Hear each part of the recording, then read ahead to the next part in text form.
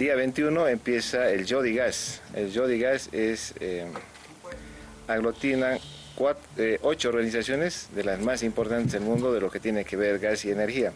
Los que conforman el Gas son la Organización de Países Exportadores de Petróleo, OPEP, el Foro de Cooperación Económica de Asia-Pacífico, EPS por su sigla en inglés, la Organización Latinoamericana de Energía, OLADE, la Agencia Internacional de Energía, IAE, el Foro Internacional de Energía, IF, la División de Estadística de Naciones Unidas, UNSD, y la Oficina Estadística de Unión Europea, Eurostat.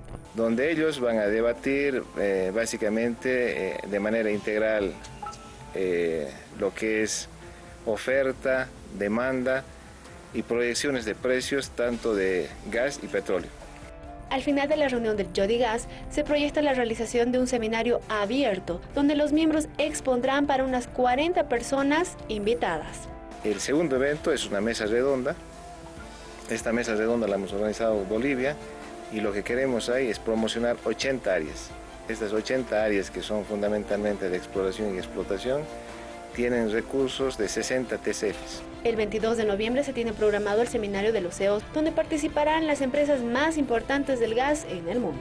Eh, tendremos un seminario internacional, debe ser de los seminarios más importantes del año en el mundo, porque eh, van a poder eh, presenciar unas mil personas que son invitadas gratuitamente, se tienen que acreditar eh, va a ser el único evento abierto. En el mismo se contará con tres paneles donde se tocarán proyección de precio del gas, mercados, optimización de costos, nuevas tecnologías, gas como energía sustentable, entre otros.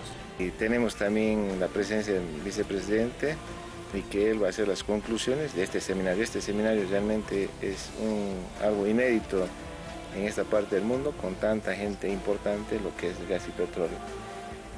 Para el 23 de noviembre se desarrolla la reunión de ministros del área, quienes ultimarán los detalles para la cuarta cumbre de jefes de Estado y de Gobierno, que será presidida por el presidente Evo Morales, misma que se llevará a cabo el 24 de noviembre, donde se prevé la aprobación del Acuerdo de Santa Cruz. Son aproximadamente 20 puntos, tres puntos eh, importantes para el Estado boliviano.